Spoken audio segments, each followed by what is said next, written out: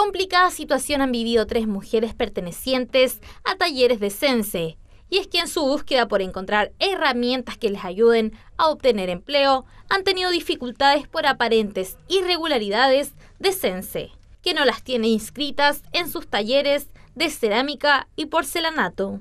Hicimos el curso de maestro en obra gruesa y terminó. Entonces, cuando estaba terminando la última semana, viene la directiva de SEMSEN para preguntarnos qué nos había parecido el curso y para comentarnos que existía la posibilidad de tomar el otro curso.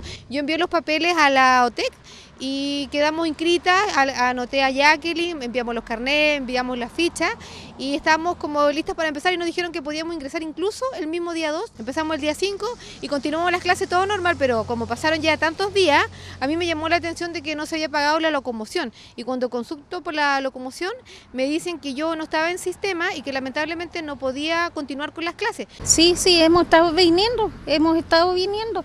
Y ayer vino la, una de las señoras del CENSE y le había pedido, porque salieron a hablar con el profesor afuera, y le había pedido al profesor que lo saque de la clase.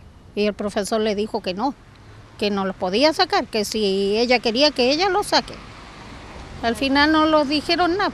Las alumnas han buscado tener soluciones con el CENSE para tomar las clases.